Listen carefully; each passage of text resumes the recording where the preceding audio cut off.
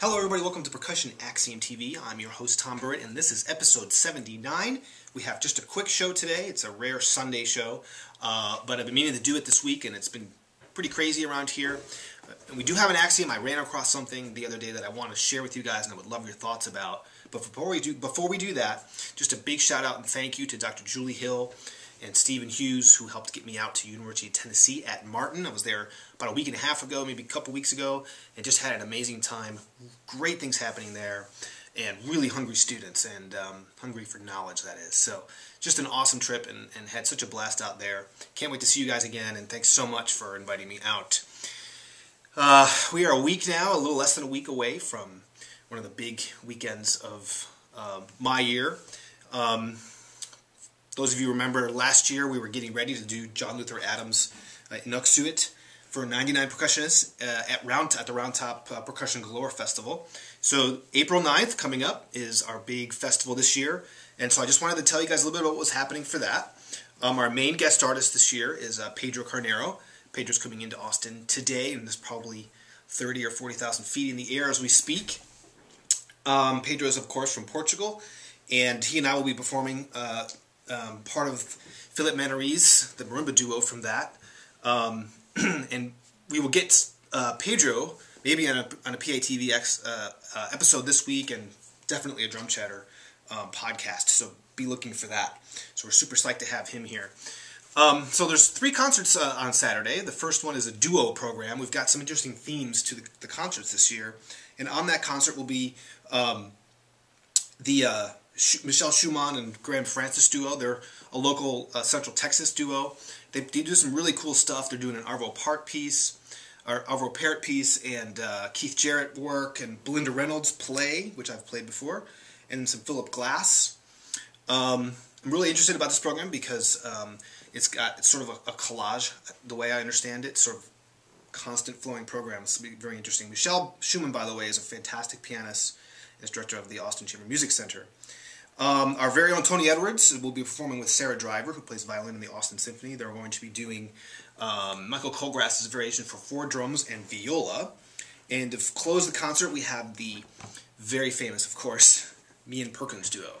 And they're doing two world premieres by John Supko and Mac McBain. So that's the 1.30 concert. The 4 o'clock concert's all solos. That will feature uh, Lily Wen, a DM student here, playing some very interesting Grieg um, piano pieces on marimba. She plays them beautifully, amazing. Uh, and then we have uh, Pedro Carneiro playing um, some stuff. He's playing, uh, what, is, what is Pedro playing? Pedro is playing um, music, a piece by Cort Lippe, music for snare drum and computer, and Nishimura Kama from three fragments of Paya for solo marimba. That's Pedro's program. I'm going to be playing um, a couple Stephen Barber chorales and John Serry's ground lines. And the piece after the intermission, the concert will finish with uh, James Dick, the founder, pianist of Round Top. He'll be performing um, with us on the Concerto for Piano and Percussion Orchestra by Gillingham. Did that two or three years ago, and it's a great piece. So that's the solo program, which starts at um, 4.30, or is it, no, 4 o'clock, 4 o'clock. Then the evening concert is an all-French percussion program um, that will feature line upon line percussion, playing the Jolivet Suite en Concert with Francois Minot on flute, and uh, Etude Chorégraphique by Maurice Ohana, which is a, a, sort of an interesting find. We should probably do another show on that because it's a very interesting piece. Um, uh, by a well-known French composer, at least in France, that is. Uh, and then the and then the big finale is the Philippe Manoury Book of Keys, um, 25 minute work, sixxen that we built.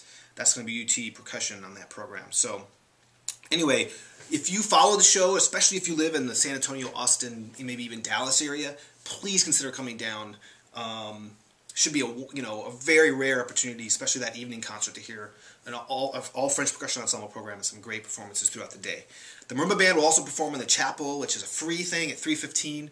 Um, that's a perfect setting for that music and uh, that's always fun. And the Steel Pan Ensemble will be performing for a dinner um, that you can uh, purchase tickets for.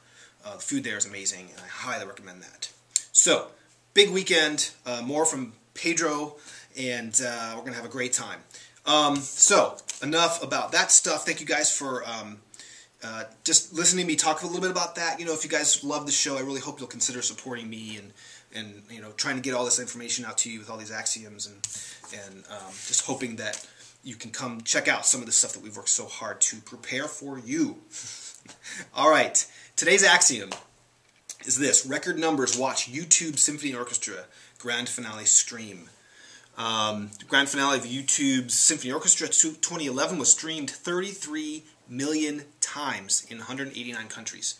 33 million times. I read that number, I just my jaw dropped. I think it beat out. I think it's the the biggest live stream of any event ever, ever. Um, this was the three and a half hour concert that was held in Australia's um, Sydney Opera House on March 20th, so very recently.